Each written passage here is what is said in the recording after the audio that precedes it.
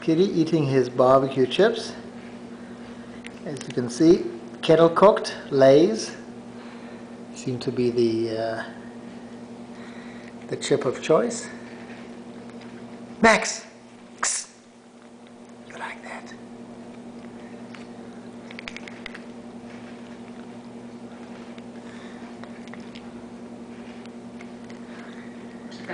that?